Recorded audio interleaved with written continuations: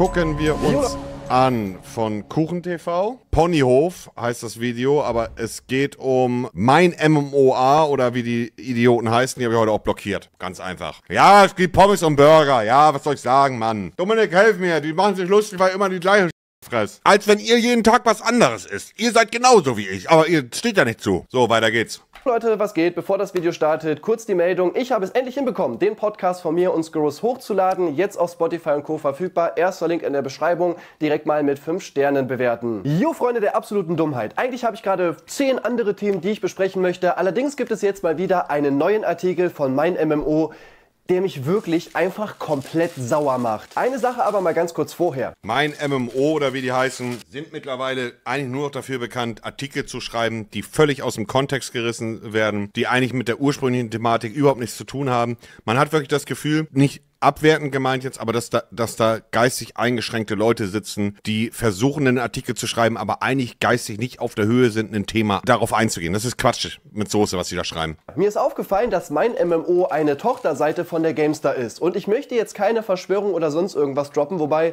doch, genau das möchte ich machen. Ein Mitarbeiter bei GameStar, der auch schon etliche Jahre da ist, ist nämlich Maurice Weber. Und der ist zufällig cool mit Shoyoka Freiraumrehe und so weiter. Also es wirkt schon so, als wolle man jetzt absichtlich hm. einfach negative mhm. Artikel über uns schreiben, weil die immer noch sauer sind, dass wir die Lügen von Shoyoka aufgedeckt haben. Aber egal, wir kommen mal zum Thema. Sie haben einen Artikel rausgebracht mit dem Namen Twitch-Streamer dürfen nicht in die Lounge der Gamescom, rufen kurz danach Skandal. Also mal abgesehen davon, dass sich das so liest, als wenn die Überschrift ein Sechsjähriger gemacht hat, wird Gamescom übrigens groß geschrieben, das ist ein Nom, nur mal so nebenbei.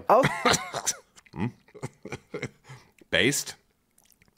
Außerdem war das auch nicht die Launch der Gamescom. In den Gamescom Creator Bereich konnten Skurrus und ich gehen. Lustigerweise ist das große Vorschaubild, was die zeigen, genau wir beide, wo wir gerade auf den Weg dahin sind, in der Business Area, wo man nur reinkommt, wenn man akkreditiert ist. Es ging natürlich um die Red Bull Lounge auf der mhm. Gamescom. Wer da rein darf und wer nicht. Damit hat die Gamescom aber gar nichts zu tun gehabt. Schon allein nur die Überschrift ist beschissen und nicht zutreffend habt. Wirklich, ich bin so sauer. Dann kann der Artikel ja nur noch besser werden.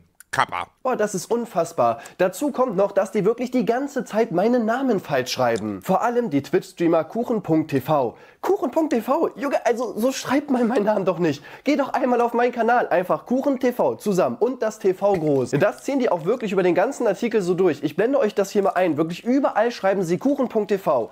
Außer komischerweise einmal. Da heiße ich dann plötzlich ganz normal Kuchen.tv. Das macht so gar keinen Sinn. Es gibt dazu auch andere Rechtschreibfehler, fand ich ganz lustig, wie hier zum Beispiel, er habe sich nur wichtig machen wollte. Ja, so, so nehme ich. Aber wir schauen einfach mal rein. Auf der Gamescom 2023 gab es Ärger um die Launch von Red Bull. Dort durften nicht alle Influencer hinein. Vor allem die Twitch-Streamer Kuren.tv und Skurrus fühlten sich trotz großer Reichweite ausgeschlossen. In der Folge echauffierten sich beide Streamer über einen Skandal um den GTA-Streamer Philo. Der soll persönlich ungeliebte Gäste von der Launch ausgeschlossen ist Philo ein GTA-Streamer? Ich hab gedacht, der macht Minecraft. Ich guck den auch nicht. Also ist GTA hier auch Quatsch haben. Es wurden Videos gedreht und Skandal gerufen. Also erstmal haben wir uns nicht ausgeschlossen gefühlt. Ich kann schon verstehen, warum die mich da nicht reinlassen und finde das auch komplett in Ordnung. Ob Screws sich ausgeschlossen fühlt, gut, das kann ich nicht sagen, aber was bei ihm ausgeschlossen ist, ist ein ordentlicher Haarwuchs. Ähm, oder auch Bart. Auch in der Folge dessen ist halt einfach falsch, denn es wird so dargestellt, als hätten wir diese Videos jetzt nur gedreht, weil wir da nicht rein durften. So quasi als Rache. Äh? Das eine hat doch aber mit dem anderen rein gar nichts zu tun. Das Thema war aktuell, die Aktion von Philo war Müll und wir sind halt YouTuber, die über aktuelle Themen mhm. berichten. Vor allem ich. Macht Sinn. Also verstehe ich nicht, warum da so eine Verbindung geschaffen wird. Warum wird das so dargestellt, als wenn wir wie kleine Kinder heulen würden? Das Einzige, was bei mir so klein ist, ist mein Penis. Offenbar oh. sind sie wegen ihres umstrittenen Rufes von Red Bull aber nicht akkreditiert worden. Damit ziehen sie einander auf. Aus einem ähnlichen Grund hat Kuchen.tv auch keine Partnerschaft mit Twitch. Der Streamer ist Twitch zu reaktionär. Also erstmal weiß man den Grund gar nicht, warum ich bei Red Bull nicht reingekommen bin. Zu sagen, dass das ein ähnlicher Grund ist, ist einfach falsch, weil man kann es gar nicht sagen. Man weiß es nicht. Und Klar, als Journalist hätte man bei Red Bull nachfragen können, das wurde aber natürlich nicht gemacht. Den Artikel, den die da verlinkt haben, da will ich kurz ein paar Worte zu verlieren, denn dort heiße ich auch plötzlich kuchen.tv und sie schreiben dort folgendes. Sein Programm so besteht zum großen Teil aus reaktionären Inhalten. Kuchen.tv musste erst belehrt werden, um zu verstehen, was damit gemeint ist, zeigte sich dann aber erschrocken. So rechts sei er doch gar nicht. Ich habe nicht gesagt, ich bin ja gar nicht so rechts, sondern ich bin überhaupt nicht rechts. Kein Stück Junge, ich check das nicht, Alter. Ich musste auch nicht belehrt werden. Das Ganze schreiben sie später auch selber. Sie zitieren mich nämlich und sagen, dass Toby Mahomey mich darauf hingewiesen hat, dass da nicht redaktionär steht, was ich irgendwie gelesen habe, ADHS und so, sondern reaktionär. Es ging also nicht darum, dass ich das Wort nicht kenne, sondern dass ich das falsch gelesen habe. Aber gut, mal wieder was Negatives gegen KuchenTV raushauen, ist auch deutlich sinnvoller. Ich will mich auch wirklich gar nicht lange daran aufhalten, so lang ist der Artikel auch nicht, aber mal kurz ein Absatz. Erst neulich wurde Kuchen.tv erneut verklagt. Er hatte die Streamerin Shoyoka extremistisch, also verfassungsfeindlich genannt. Das wollte sich die Streamerin nicht bieten lassen. Also erstmal war das nicht der einzige Punkt, das schon mal das erste. Zweitens wurde ich überhaupt nicht verklagt. Ich habe eine Abmahnung erhalten und ja, juristisch gesehen ist das ein Riesenunterschied. Mhm. Und auch unabhängig davon, ob Shoyoka mich ab abgemahnt hat oder nicht, heißt das ja auch nicht, dass ich schuldig bin oder was falsch gemacht habe. Die Kanzlei WBS hat ja ebenfalls ein Video dazu gemacht und ist auch zum Schluss gekommen, dass das wahrscheinlich im Sande verlaufen wird. Jeder kann ja erstmal jeden verklagen. Also was soll das jetzt aussagen? Den nächsten Absatz von dem richtigen Artikel lese ich mal nicht ganz vor, sondern habe euch unterstrichen, was ich hier vorlese. Skurrus wundert sich, warum Tobias Hoch nicht in die Lounge dürfe. Immerhin sage er doch, es gebe 35.000 Geschlechter. Wir sind die einzigen realen Influencer. Wir sind nicht in der Lounge. Kuchen.tv schlägt vor, zu viert in die Red Bull Lounge zu stürmen. Sicher könne man dort nur maximal drei aufhalten. Die Stimmung ist zwar launig, aber es scheint, dass die drei etwas daran zu knabbern haben, nicht in die Lounge zu dürfen, weil Kuchen.tv so offenbar Hunger Artikel. hat. Es im normalen Influencer-Bereich aber nicht zwischen die Zähne gibt. Ey, ich komme einfach nicht darauf klar, dass das alles ernst genommen wird. Das ist, ich, das ist wirklich unfassbar. Also, Skurrus und ich haben... Guck mal, wenn man Mist macht, muss man da auch zu stehen, richtig? Wenn ich Quatsch mache, wenn Kuchen.tv Quatsch macht, wenn andere Influencer da draußen Mist machen, etwas, was nicht in Ordnung ist, dann muss man mit Artikeln Artikeln und den Shitstorm rechnen. Safe Call. Aber dass Schmutzblätter wie dieses oder andere regelmäßig mit reißerischen Überschriften und ähnliches Artikel schreiben, die überhaupt nicht das zusammenfassen, was, was wirklich dort geschehen ist, ist fast schon rufschädigend. Aber die Gesetze der deutschen Pressefreiheit sind leider ein bisschen quatschig. Das Problem ist bloß, dass Werbepartner und Kunden, mit denen man zusammenarbeiten möchte, den Namen immer erstmal googeln. Und die Artikel, die ganz oben stehen, werden sie natürlich durchgelesen. Und wenn du solche Arschlochblätter wie mein MMO oder wie die ganze Flitzpiepen da heißen, ständig irgendwelche Titel äh, wählen, die überhaupt nichts mit der Thematik zu tun haben, dann kann das auch mal ganz schnell für einen nach hinten losgehen. Und das geht gar nicht. Die müssen mal ihrem Job richtig nachkommen. Haben während der Gamescom gestreamt. Und wir haben eigentlich die ganze Zeit Trash-Talk betrieben. Wie zum Beispiel hier, als LeFloid hinter uns war, dann aber lieber weggelaufen ist. Jetzt geht immer weiter nach hinten. Ja, reicht auch irgendwann. Wann machst du denn jetzt? LeFloid, ein guter Freund. Ach, LeFloid. Ah, guck mal, LeFloid. AKA Wegläufer. Er hat dich doch AKA, die Klage kommt. Die Klage kommt, LeFloid! Wir sind doch nicht abhängig davon, in irgendeiner Lounge zu chillen. Ja, und das sage ich immer noch, obwohl ich nicht drin war, ist es da natürlich... War auch ein bisschen A-Tag von Screws, sage ich ehrlich. Das war cringe. Chillig. Du hast halt Verpflegung, viele Influencer sind da, mit denen du dich unterhalten kannst und du hast einen Rückzugsort direkt hinter Halle 8, wo halt die meisten Zuschauer... Kann man sich auch schenken, so, weißt du? Zuschauer sind. Aber es ist doch okay, wenn man uns da nicht reinlässt. Die Red Bull Lounge macht es für uns nicht abhängig, ob wir auf der Gamescom chillen oder ob wir uns da wohlfühlen oder sonst irgendwas. Ja, natürlich machen wir ein paar Witze darüber. Wir trash-talken auch die ganze Zeit über uns selber, unabhängig von der Gamescom-Thematik. Aber das plötzlich wird dann wieder ernst genommen. Und ja, das Problem ist halt auch leider, dass ich wirklich Hunger hatte und es ist ja auch bekannt, dass ich als Influencer auch gar keine finanziellen Mittel hatte und ich konnte mir einfach nichts zu essen holen, weil im Influencer-Bereich von der Gamescom gab es nichts.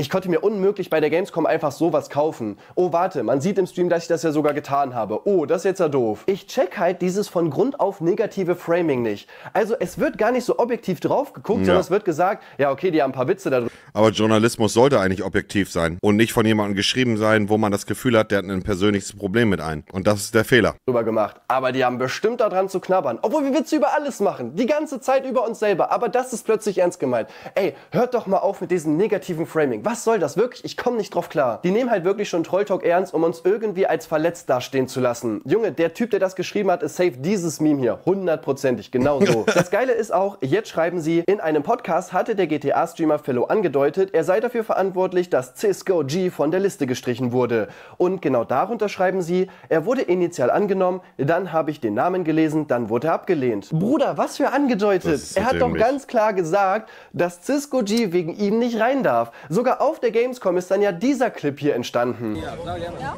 Man, man berichtet über ein Thema und beliest sich da drinnen gar nicht. Er hat gesagt, er noch nicht. Natürlich nicht. Sag mal, wer die Liste macht. Du? Sei doch korrekt und lass ihn rein. Nein? Nein. Und ja, da ging es um andere Influencer, aber er hat das nicht angedeutet. Er hat es ganz klar so gesagt. Danach schreiben sie das hier. Skurrus und Tobias Hoch nahmen das Statement ebenfalls für voll und echauffierten sich auf Twitter. Warum sollte man die Aussagen von Philo denn nicht ernst nehmen? Hä, ich check das nicht. Was war das Problem? Keiner der drei schien sich ernsthaft zu fragen, ob es überhaupt glaubhaft ist, dass ein mittelgroßer Twitch-Streamer so viel Einfluss auf Red Bull hat, dass er bestimmen kann, wer in die Lounge darf und wer nicht. Was ist das für eine dumme Scheiße, Digga? Hm, also die einzige ernsthafte Frage, die man sich stellen muss, ist, ob der Typ, der das geschrieben hat, mehr als drei Gehirnzellen hat. Also, nochmal für Dummies. Philo ist im Management von OneUp und die waren für die Akkreditierung der Red Bull Lounge verantwortlich. Wahrscheinlich ist es also so, dass Philo ein sehr gutes Verhältnis zu den Leuten vom OneUp Management hat. Schließlich ist er da ja unter Vertrag. Es ist also nicht weit hergeholt, dass er da vielleicht mal auf die Liste gucken durfte und er meinte, hey, wäre cool, wenn ihr den raushaut, weil den mag ich nicht besonders. Es ist doch vollkommen egal, ob er den Namen jetzt selber gelöscht hat oder ob er nur gesagt hat, hey, haut den mal bitte raus. Ja, oder ob er ein großer oder ein kleiner Streamer ist.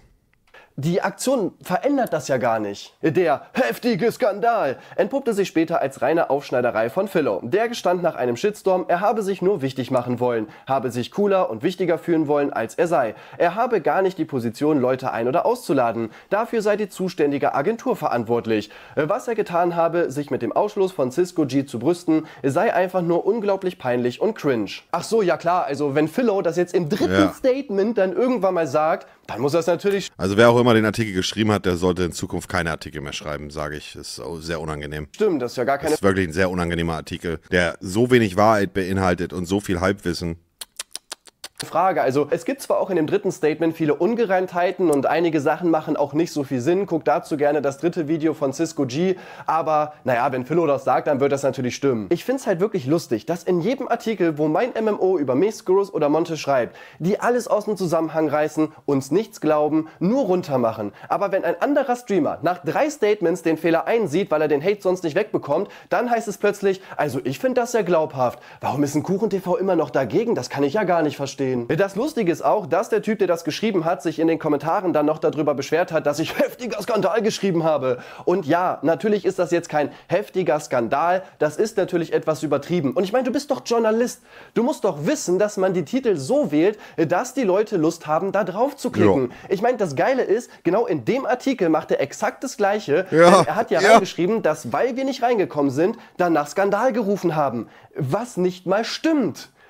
Digga, du machst exakt das Gleiche. Das ich, ach, Digga, Junge, ich, ich habe einfach keine Lust mehr. Was kann ich abschließend dazu sagen? Also, wenn der Typ wirklich ein richtiger Journalist ist, dann ist wirklich vorbei, dann habe ich keine Lust mehr Influencer zu sein. Ich hoffe wirklich, nicht. das kann ich einfach nicht glauben. Das Lustige ist, dass er sich als Autor selber so beschreibt, Schumann, das L steht für Niveau. Und da hat er komplett recht, auch wenn er ein wandelndes L-Take ist, das muss man dazu sagen.